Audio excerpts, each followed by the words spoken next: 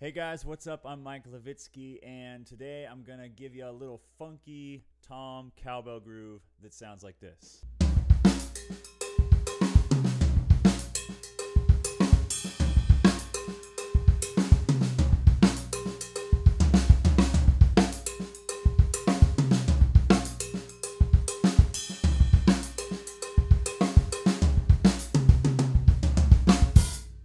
Going to be working on that cowbell groove with the toms, and uh, as you can tell, I've been working a little bit on trying to get a better sound for my drums and a better look. So I have two cameras. I have one here and I have one there, and hopefully I'll uh, figure out where I should put them.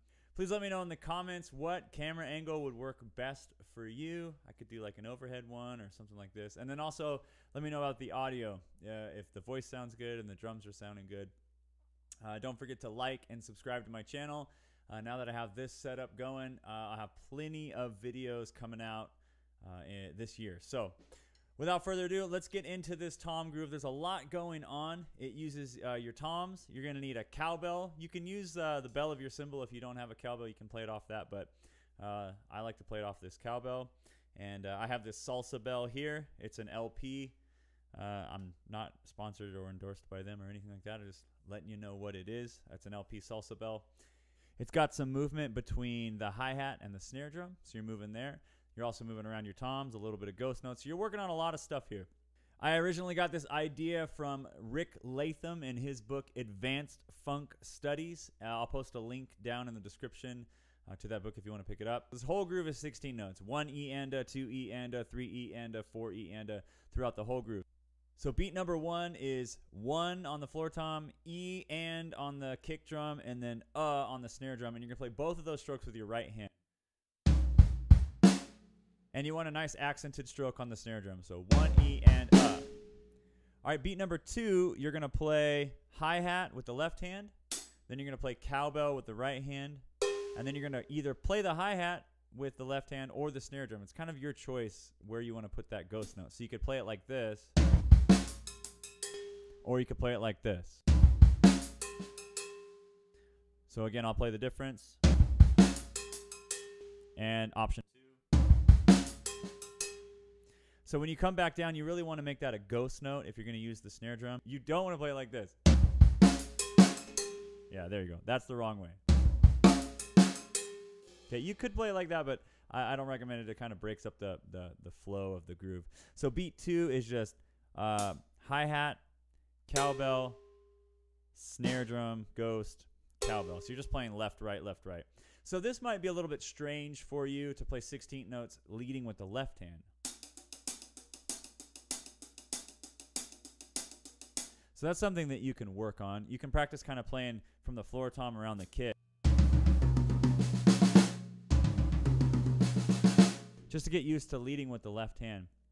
Because you play that initial uh, right kick, kick right, it's going to start that second beat with the left hand. So beat two, one E and uh, or one E and uh. Let's put beats one and two together. One E and uh, two E and uh.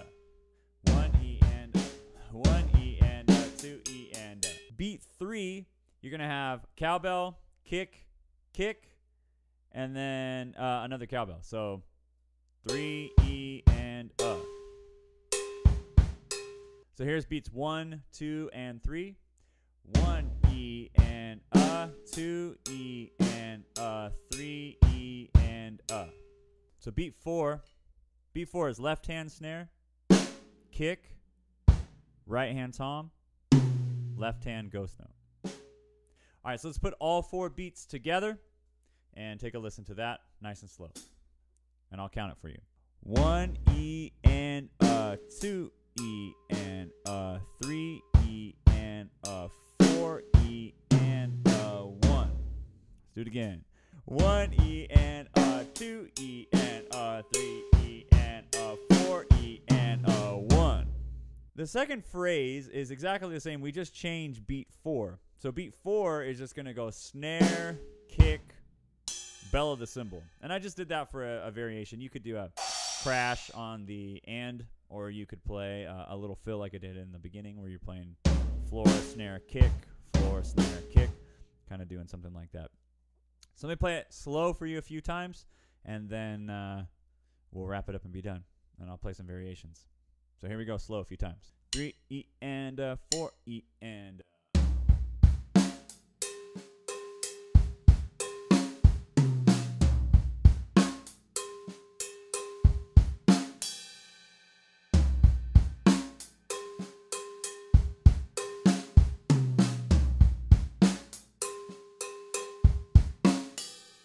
Here it is at a medium tempo.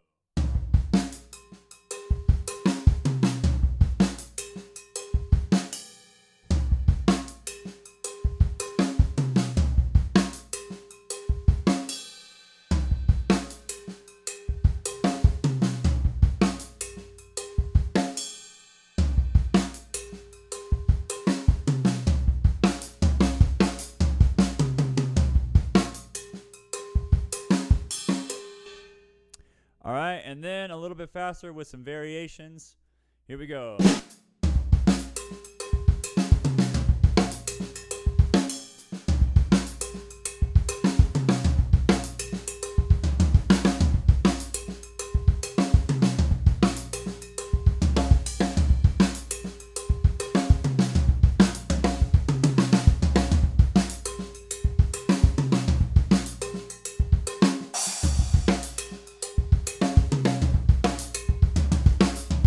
All right, guys, there's a quick lesson for you. Mostly, this is just so I can figure out the sounds of my drum set and how all this is working, and then how I'm going to take these two camera angles and put them into one and make a video out of it. There's still a lot I have to learn about that. So please, please, please leave me a comment down below, like, subscribe to my channel, and uh, let me know how I can make this better because I want to continue to get better and better and better.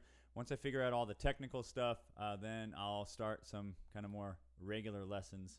Uh, but for probably the next few, they're just going to be random fills or grooves or something like that. I hope this one helped you out. I hope you had a lot of fun with it. Uh, like always in all my videos, I'm going to play you out with some uh, some drumming.